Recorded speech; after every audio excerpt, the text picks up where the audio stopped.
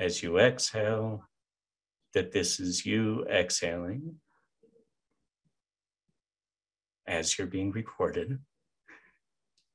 So maybe you can slow your breathing down.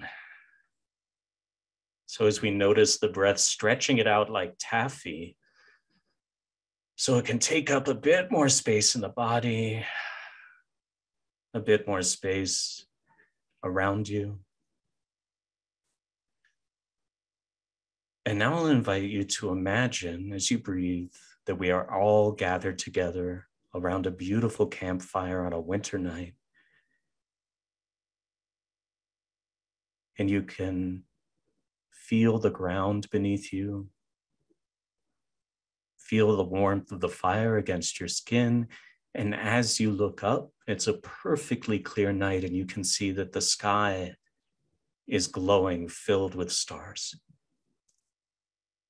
And so just take a moment to allow yourself the gift of this experience of this beautiful night under the stars. And as you take in the night sky, I'll invite you to imagine that each of these millions of stars is a moment from the last year. Each of these stars is a single moment from the year 2021. And they're not arranged chronologically, they're scattered across the sky. And in a moment, one of those stars is going to light up a little bit brighter than the others. And, and this star that lights up contains a moment from 2021 that was luminous, a moment that shined with importance or joy, whatever that quality was, it makes this moment light up. And so notice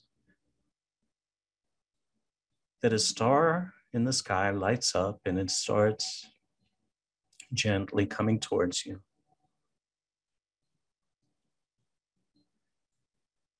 And as the star approaches, see if you can allow this moment to reveal itself. This shining, luminous moment from 2021. It might just be tiny. And there's no rush. You can allow this moment to find you. And as a beautiful, shining moment from 2021 begins to reveal itself, see if you can really allow yourself to feel that moment, any images that come to you, sounds, tastes, smells. What was it about this moment that made it light up so intensely?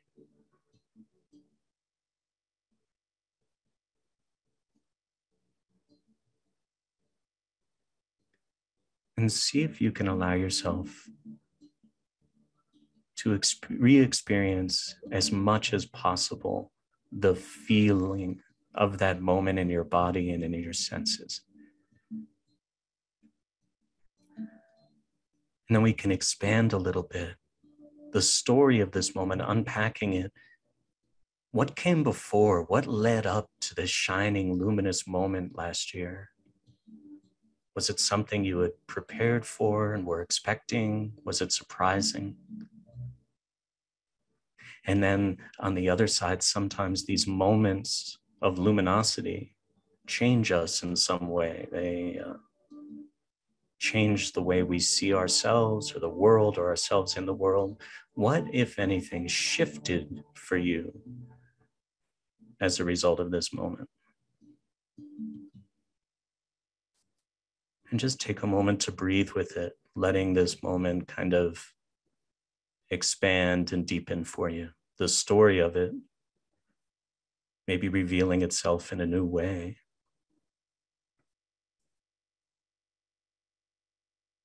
And just really gently bring yourself back to your breath. Letting the breath be infused with this story of this moment. And let's all do one together. Just take a nice slow breath in. Release it with a sigh. If they're closed, you can open your eyes. And what we'll do is take about three or four minutes just in silence to take any notes about anything that came to you during that. You can write in, this is just for you. You won't be reading these. So you could draw a picture. You can write, man, I hate visualizations, whatever, whatever feels alive for you. Take about three minutes for some notes to process whatever came to you. All right, wherever you are with your notes, that's where you be. So maybe one more word, the end, and then they all lived happily ever after, whatever, whatever feels right. And what's going to happen now is you'll go in, um, not yet, Dave, because I want to explain how we're going to do this, but we'll go into breakout rooms. Uh, there'll be four of you per room. So if you're not on camera right now and you're able to be on camera, it's really nice to be able to see you in those breakout rooms. And if not, that that's okay too. If you need to be audio only, that's that's fine. So the way that it'll work um, is you will uh, each have a chance to share your story. And when you're sharing your story, you will have up to three minutes to do it. So I recommend using a hand computer or a stopwatch, something just to make sure that you stay on those three minutes. If you get to three minutes and you're not done yet, it doesn't mean you have to like stop at the middle of a thought. It just means gently begin to wrap up your story. So if we could all hold ourselves accountable to that, it'll help a lot. Um, if you are the storyteller, you are under no obligation to be coherent, interesting, or even entertaining. Those three minutes are yours to explore your story or whatever comes up in whatever way feels right to you. The one thing I'll say is that sometimes I talked about non judgment earlier. Sometimes I notice this in myself in these. I will start out by editorializing about my story. And that might sound like this oh man, that guy's voice was like, it just put me to sleep. So I'm not sure that this story is good. Actually, I'm pretty sure it sucks. Anyway, here it is. And then you share the story. What I'd invite us to do is not do that to simply have that urge, which is totally natural, and then start your story. Last year on July 22nd, and then you're off to the races. It helps so much. If you're not the storyteller, you have a very important role. You are the listeners. And in these circles, I'd like to invite us to listen in a way that's slightly different than the way we listen in the normal world. Um, I have a teacher who calls it listening with soft and shining eyes. Um, if you think of how Mr. Rogers listens to children, it's like a whole body experience, as if the next words out of that child's mouth might change the course of the universe. That's how we want to listen to each other, because for all we know, those words might change the course of our lives. Um, so, as a listener, your only job is to support the storyteller with your full compassionate attention, right? Um, when the storyteller's done, when you're done with your round of stories, you can elect to receive appreciations if you'd like. Appreciations is not feedback. Here's the difference. Feedback sounds like this. Um, Barb, your story was good, except that part with the balloon, I didn't buy it. So if you could work on that, that's feedback. That's not safe space. That, that, that, that's violence against our stories. We want our stories to feel safe. So an appreciation sounds more like this. It might sound like, um, Ross, I love that moment in the story when you were in the canoe. And that's it. An appreciation is simply something we loved in the story, not why, not how it relates to us, right? And I think that's, oh, the, the last thing I'll say is if you, for whatever reason, simply do not feel moved to share a story in this circle, nobody is required to. It's an invitation. So if it comes to you and you don't want to share, you can simply say, I'm here to listen tonight. And that is a stunningly beautiful way to participate in these, right? So um, Dave, if you want to put the, um, the, the instructions in the chat, just so we have them. And then these last two, when you're done with your stories, and if there's extra time, and there should be, two things that you can discuss with your group. One, what were some themes that you heard in those stories? What themes were in common between the stories of these shining moments? And the second is based on the energy of these stories, what wants to be brought forward into 2022? The wording is important. This is not an intention. This is not something that you want to bring forward. This is something that wants to be brought forward. in a beautiful way, right? From the energy of these stories. And then we'll come back. So, Barb, I think we'll have 25 minutes for this. Correct, 25 minutes. Yeah. Um, if you have any questions or anything comes up, you can hit the red bat signal button, um, call to host, and I'll come swooping in with hopefully help for you. But if you, before we go into the breakouts, any questions about what you'll be doing in the breakouts? I know it's a lot of guidelines for the most human thing we do, but because we're not around a campfire, I find it really useful over Zoom to have to have those agreements. So any questions? All right, my friends, have fun in there and we will see you in 25 minutes. Welcome back. hello, hello, friends. I feel like we all split off into individual campfires and now we're kind of, and those got cold. And so now we're coming back together around the big campfire. Welcome back. Hi, Joe. Welcome back. yeah. Isn't that what they say to people in the movies when they've been like in another planet or something? yeah. Welcome back. Welcome back. What have you learned in your time on that other planet? Well, yes. What did you see? Yeah. yeah. It's great. That was yeah. fun. Yay. And we're going to have everybody else flooding back in in a sea of humanity in three, two, well, everybody hide, Thank quick, you. hide. So that, no, um, there they, here they come. One of the things I've come to welcome, I, I let's take a moment as everybody pops back in. One of the things I love about story circles is looking at everybody's faces afterwards and how different they are than they were mm-hmm. before. Mm. Um, so I'm just going to take a moment, and you can do this too. Just scan through the gallery and and you can even feel. I was saying to folks who popped in a little early, it's as if we've all been on our individual adventures now around little campfires, and now mm-hmm. we're around the big campfire again. So something I'm always curious about because I can see and feel the shift in the group. Um, anything you noticed that you can do this in the chat as well if that's more comfortable but what did you notice about that experience what what will you take with you from it maybe anything that might have surprised you about those story circles um, if i may mm-hmm. um, what uh, stood out to me one of the things that we that was a theme within our uh, stories that we shared was connection and of mm. course, connection was what we were gaining through the sharing of our stories with each other. So it was Beautiful. kind of a meta, meta, meta connection. Yeah. And I love, I'm just looking in the chat. Thank you, Don. I, I, I love um, the healing power of water was a was a theme in one of the circles. is so beautiful. Anything else that you all genuinely heartwarming as opposed to heartwarming in a fake way. Um, I, I, love that. Everyone's yeah. story had a challenge. Yeah. Yes. Um, children or mm. sisterhood or brotherhood was it was a theme. Beautiful. Yeah. Daniel. Community. Yeah. What what I took away is all there were three of us, and we all had created experiences or created something brought something into the world mm. and and and that's so so much what we need it's almost a response to your question what's being drawn out into the world and we so much we, there's that's what we need for our future is to co-create a new future. And yeah. uh, and each of us we, we're doing that in our lives. So it was really really heartwarming. I love that.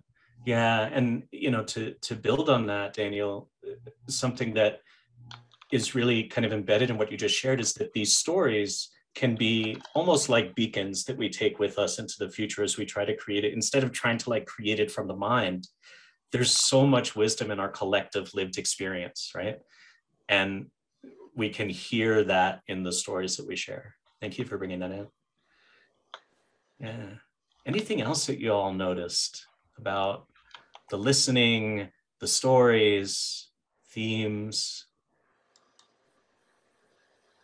a couple of the stories in our group had this interesting theme of of like courage mixed with care. So mm.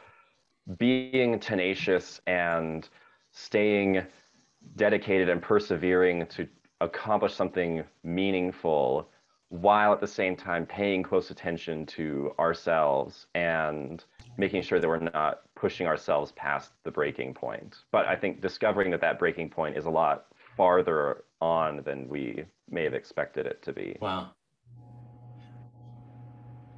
Thank you. I, you know, something I'm noticing as I'm scanning the chat, you know, all of our stories involve trips and travel, water, community, sisterhood, um, is that it cannot be an accident that you were A, that you're here tonight, and B, that you were in the group that you were in, and that the story that was shared is the one that came out, right?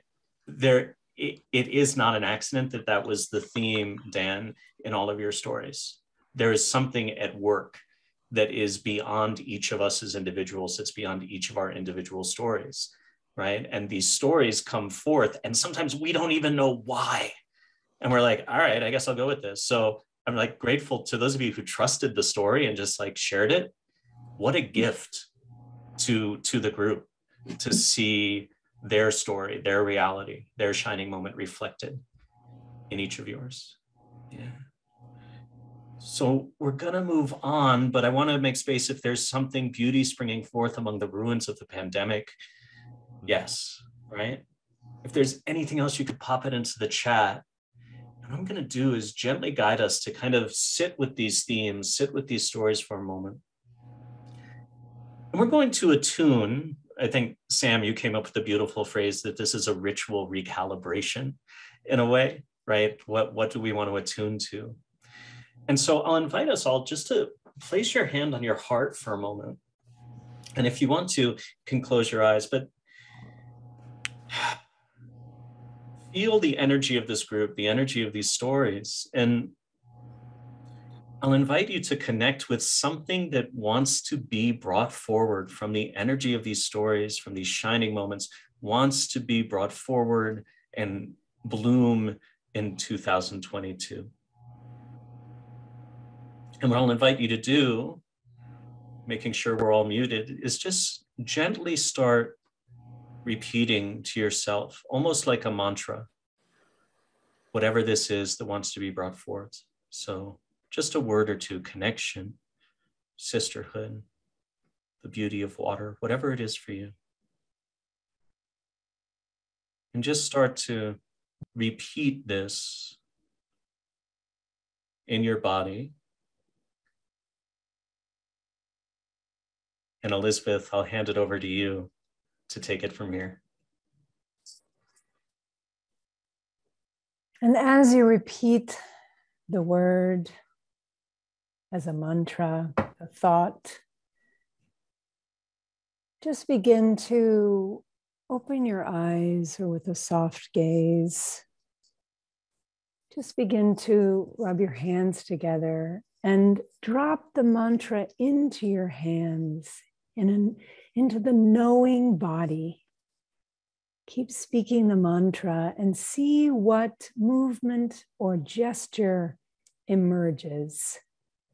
How can you play with that moment, that mantra, the distillation in a movement?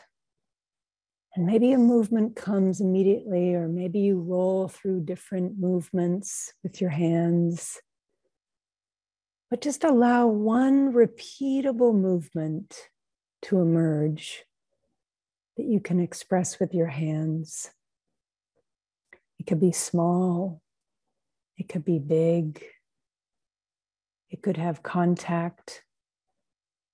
Your fingers, your palms, your hands could be crossed, just all the ways to play with that mantra as a repeatable gesture. And breathe with that. Enjoy it, luxuriate in this movement.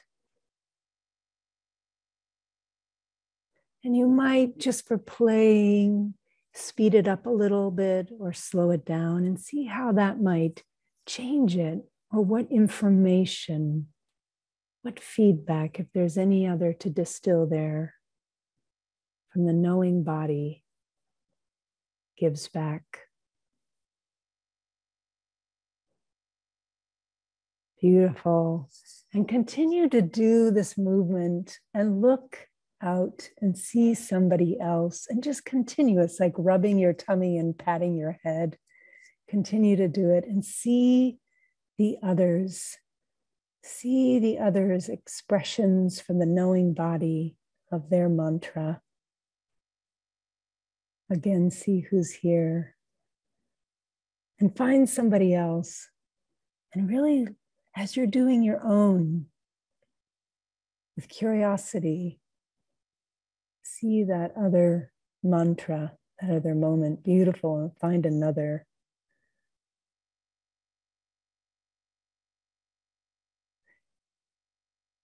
And now look out and find another and say hello by copying their movement back to them. So now we're going to begin to change our dance.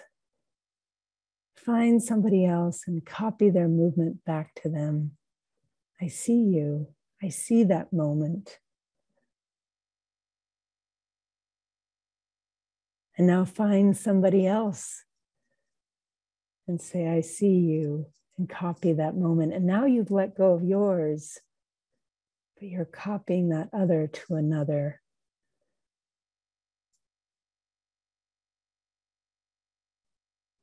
And find one more person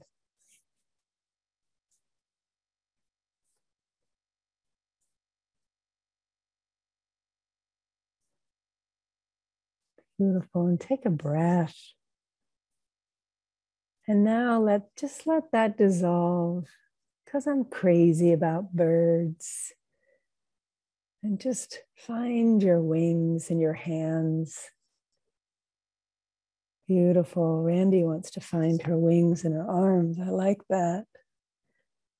You can choose.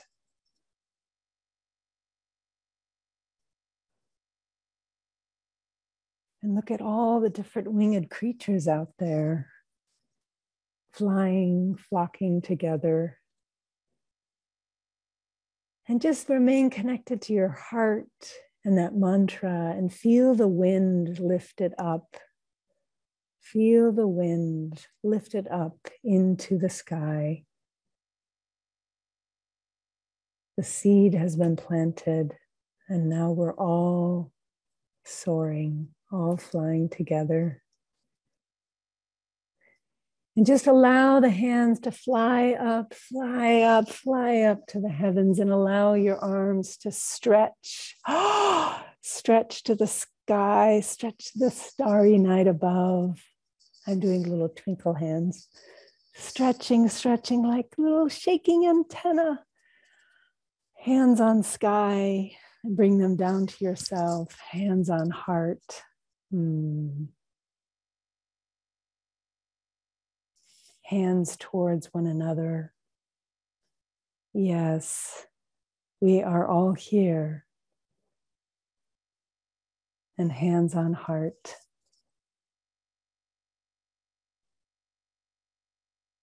Thank you. Michael.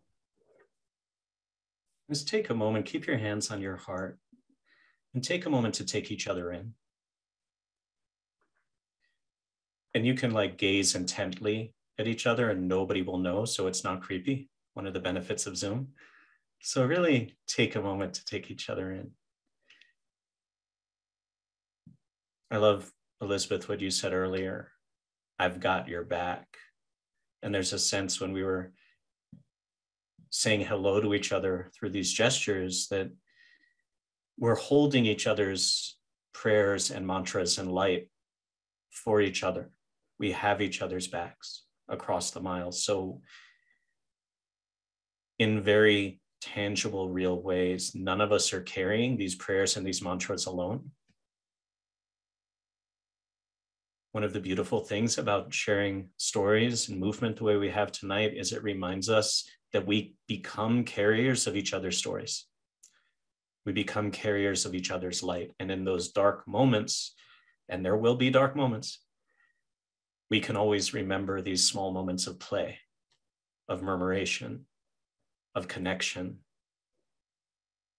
We can have a sip of water and remember the story that we might have heard tonight about somebody's shining moment with water, right?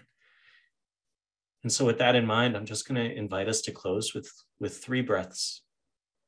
In the first breath, just connect with yourself, connect with your heart, connect with the infinite constellation of stories that lives inside of you. So nice breath in, breathing in and releasing. And this next breath, I'll invite us just to be aware that the breath we're breathing in was in another being 20 seconds ago. It was in a plant. Maybe it was in the body of someone on this call a couple days ago. So, this breath, in a very literal way, connects us with every living being on the planet. No big deal, just science. So, here we go. Nice slow breath in. Feeling that connection and releasing. And the last breath we'll take together. Invite the awareness that because matter is neither created nor destroyed, the molecules we're breathing in have quite literally been around since the beginning of time. They are stardust. We are stardust. And so, with this breath, let this breath be a small but important part of this infinite story that stretches from the beginning of time, weaves through history, visits us in this brief moment, and then goes on its journey into the future. And with that, nice breath in and release. So beautiful to spend this time with you. So, to close the ritual, I'm just going to blow out the candle before we hand it back over to Sam. So if you have a candle and you want to blow it out, cool. It's just beautiful to see all of you shining through the magic of Zoom. Thank you so much for having us. Barb, thank you as always for inviting us to play with you. And um, Sam, we'll, we'll send it back to you to close us out. Thank you, Barb. Thank you, Michael. Thank you, Elizabeth. Thank you, everybody, for making the effort to be here and be present for one another. I thought we would just have a short final four minute close as a way to hold space for anybody to offer any final thought. My invitation to you would be to offer a final thought, which is, in effect, your your last little note that you're passing through the digital wires to one another as we start to ritually recalibrate for 2022. Maybe that means it's something special that you felt or heard tonight that you just want to share. Um, maybe it's something else. It could just be a single word or a clause. Um, but you don't have to say anything. I'll let you know when we're close. We'll do it for about three or four minutes and let's let's see what our final observations and gifts to one another are. So be sure to take yourselves off mute.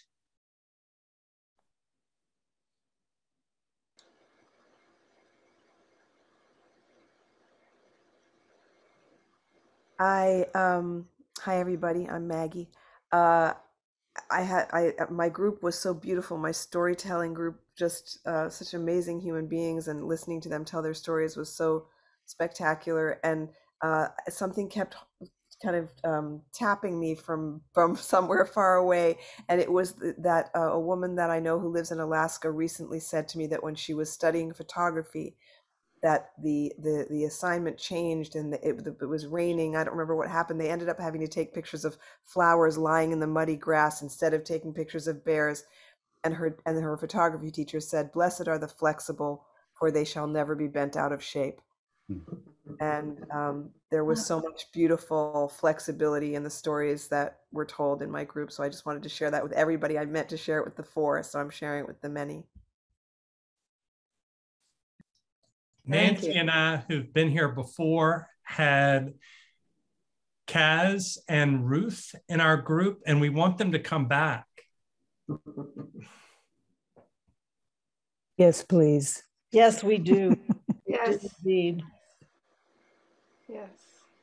I'm I'm just taken by the beauty of faces right now. That that um, faces. I am in almost tears over how beautiful.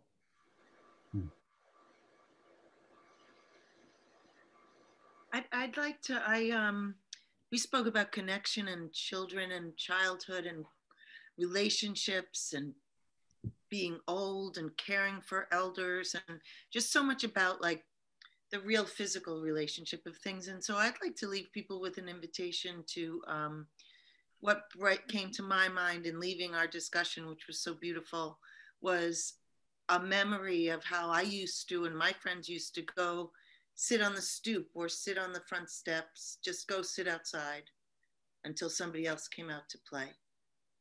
So I'd just like to invite everybody to find a moment to just go sit outside and wait, you know, and see who comes out to play and see what we can do to re-engage again in some physical connections um, during, you know, while we're still in the pandemic, but we can be outside and say hello to somebody.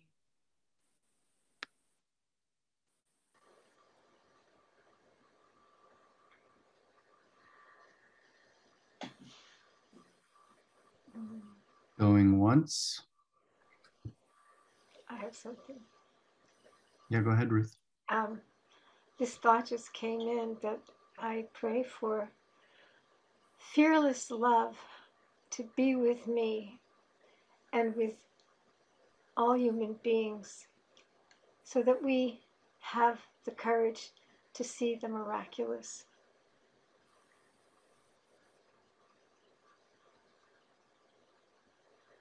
Amen.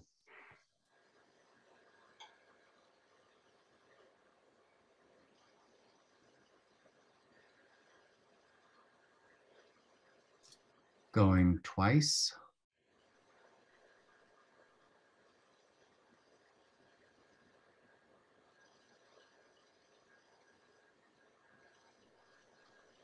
Thank you, Sam. Thank you, Lee, for this beautiful invitation to be with all of you. We're so grateful. And yes, the faces and the eyes and the movement and the gestures and the words uh, stay for me, stay with me for a very long time. Thank you. So let's let's try to keep finding our way back to one another. So, you know, we said that this is part of a ritual recalibration. And part of what we want to do together is amidst everything else that's happening right in everybody else's life let's make wednesdays a part of our shared ritual. So every wednesday this year we're going to do something together. And some days it might be like this and some days it might be something else. In fact I'll share with you in the chat. This time next week, we're going to be joined by the remarkable Jenny Finn, uh, who has created this amazing school called Springhouse. So there's the poster. So come on back. But also a reminder that um, let's use that space, uh, that network space to keep these conversations going, to stay connected, and to find new opportunities and new excuses for wonder. Happy New Year, everybody. See you next week. Happy New Year. Thank you. Same to you and everyone else. Happy New Year. Thank you. Thank you. Thanks Happy New Year. Bye. Mm. Thank you, everybody. Yeah, thank you.